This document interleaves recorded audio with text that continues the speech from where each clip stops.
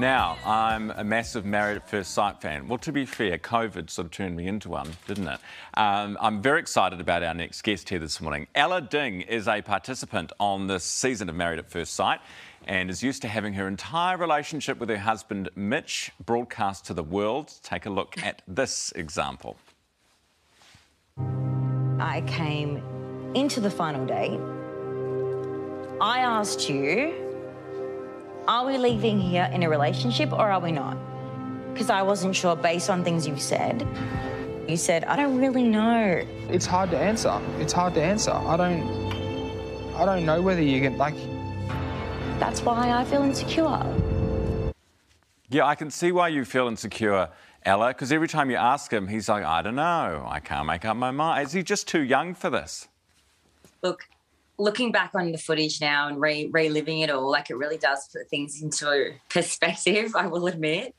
Um, but he really did struggle using assertive language. And he, you know, as you would have seen, he was very uncomfortable throughout the entire experiment. Like the whole cameras and all that sort of stuff made him very uncomfortable. So Mitchell and I did establish a lot of the foundations off camera, which obviously production hated. And yeah, it was it was hard because like I'm an open book and Mitchell's quite the opposite. So like I was sort of torn in the middle all the time.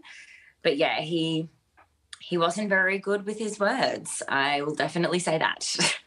Do you think he was there? Because uh, I get the sense you genuinely, if it was the right guy and it all worked out, that you would have, you were in this for love. Do you think he was? Do you think anyone is? Yeah, I mean, look, it's like the odds are definitely against you going into something like this with finding love. You can only hope so hard that you'll be matched with someone who you can just bond with and create a friendship with because it's very unlikely, as we've seen on most seasons. Like there's about one or two couples that walk away like actually in love. Um, in terms of his intentions, well, he got scouted. So I don't know if you guys know that, but I didn't know that, and now you know that. um, so yeah, Mitchell did get scouted, and straight away that was already for me a bit like, oh, questionable. Like, is he here for the right reasons? Um, you know, he's a model. Like, you definitely do question those things, but by this stage in the experiment, you'd like to think that this person does have genuine feelings for you. Like, you want to remain positive. Mm. Um, and I just continued to try to stay, you know, true to myself put my heart on the line as I always do. Um, but it's the risk that you take going into something like this, like huge risk that you take that you're probably going to, you know, maybe get your heart broken or be embarrassed or humiliated or just grow from it. Like it really just it depends how you want to take it. Yeah, Ella. Um, what about the the photos that I've seen of Mitch and Tamara together after the filming of the show? Are they are they in a relationship now? Um, look, I know as much as you know, really, at this stage. Um, yeah, I've seen a lot of articles. I've been sent a lot of comments and screenshots of things. Um, but for now, I'm just going to try and, you know, block it out because media, people make up stuff. Um, and when the time is right, I'll do my own digging. Yeah. Let's talk about Olivia, who's like the elephant yeah. in the room.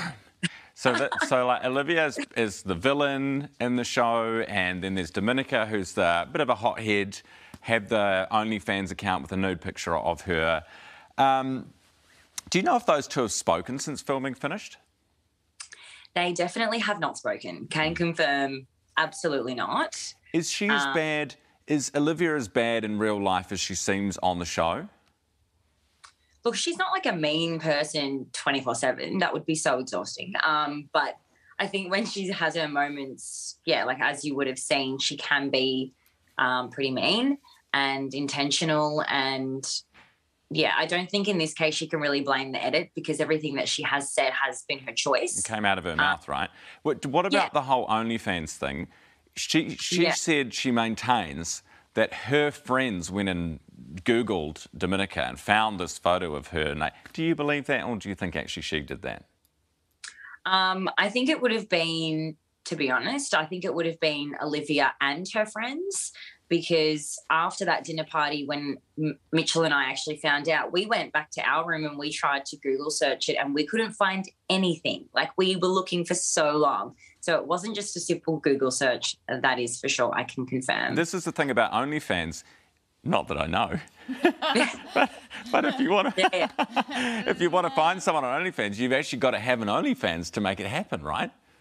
Yeah, I'm pretty sure you do. I also haven't. I didn't know much about OnlyFans until it's all come out in the media and all the, the laws and stuff around it as well. Um, but yeah, she definitely like had to go digging. Yeah. Yeah. Definitely wasn't a Google Olivia, search. Olivia had her detective hat on some point, didn't she? Um, yeah.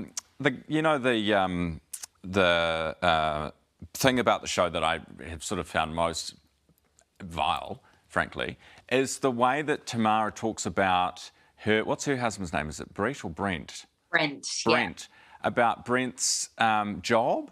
You know, like yeah. like really disparaging about being a waiter. Like, what's wrong with being a waiter?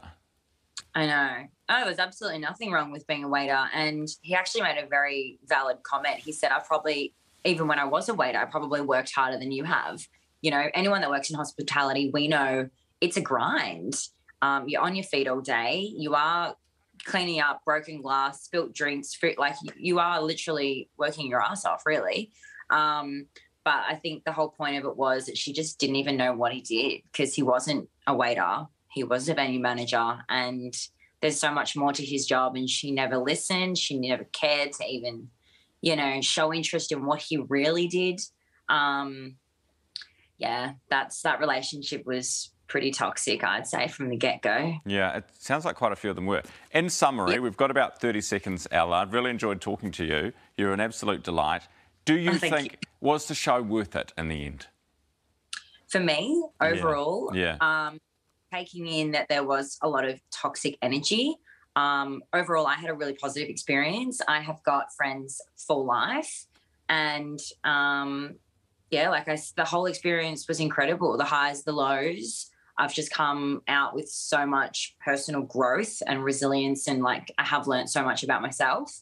But I will say, definitely don't put yourself in something like this if you are not truly capable of handling being in the public eye um, and another tip if you have any pre existing, like, mild forms of anxiety or depression, do not do something like this. Like, I'm okay because I'm pretty level headed, but I do know other participants are not coping and have not coped. And even in filming time, just be really, really, really mindful of all that sort of stuff because it's intense. It's an experiment, yeah, genuinely.